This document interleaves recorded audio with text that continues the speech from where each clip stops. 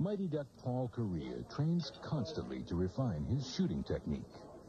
His powerful slap shot, his deceptive and quick wrist shot, and his surprisingly accurate backhand. Hey! Any more of that, you kids will wait in the car. All are essential in any hockey player's arsenal. The NHL on Fox.